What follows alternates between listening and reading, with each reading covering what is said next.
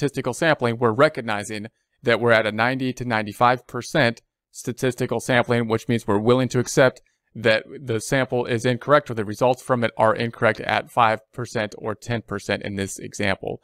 Tolerable deviation rate. The maximum deviation rate from a prescribed control that the auditor is willing to accept while still considering the control effective. For example, if a control is highly important, the tolerable deviation may be set to 5%, but if the if it's only moderately important, we may set it to 10%. So once again, tolerable deviation, what is going to be tolerable within the deviation? The maximum deviation rate. So with the deviation rate now, that's going to be the maximum deviation rate from a prescribed control that the auditor is willing to accept while still considering the control effective. So we're going to say we're, we accept these deviations and we're still going to basically come to the conclusion that the control is effective. Expected population deviation.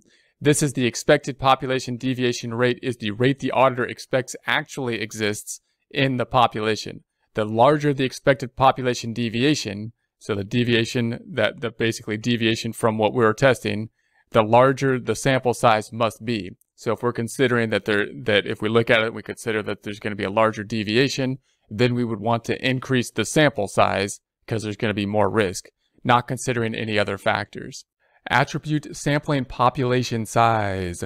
Although it would seem so, population size is not an important factor in determining sample size for attributes sampling. So let's read that again because this is a bit counterintuitive if we're not a statistician here. The population size is not an important factor in determining the sample size. And if you're not a statistician, you would probably think that it would be. You'd probably say, well, how do we know what the sample size would be? well, wouldn't we first need to know how large the population is? In other words, if you're talking about basically trying to poll the entire country and determine what the what their opinion is about a, a certain who they're going to vote for or something like that, you would think that you'd you'd have a bigger poll just based on how big the country is.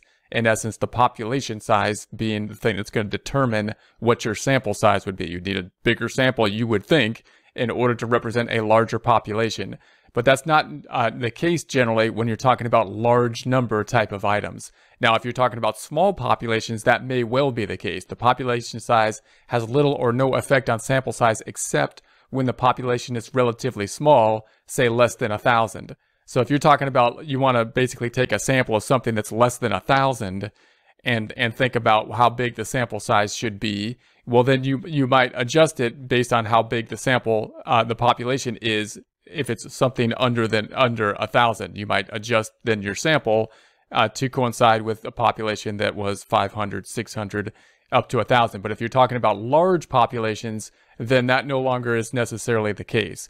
We do have these relationships below, so we're going to have these relationship factors in this table. Expected population deviation rate. So if we want the expected population deviation rate to go lower, now this is the expected population deviation rate, then the effect on the sample size would be to decrease. So if we want the expected population deviation rate to increase, then we're going to increase the sample size. So these are the factors we're taking into consideration. Then we have the tolerable deviation rate. The tolerable deviation rate, if we want it to go lower, we're actually going to increase the sample size. If we want the tolerable deviation rate to go higher, we're going to decrease the sample size. So in other words, the tolerable deviation rate has that inverse relationship. And then we have the desired confidence level. And that's going to be a straight relationship again. If the desired confidence level, we want it to go lower, then, then the effect on the sample size is to decrease.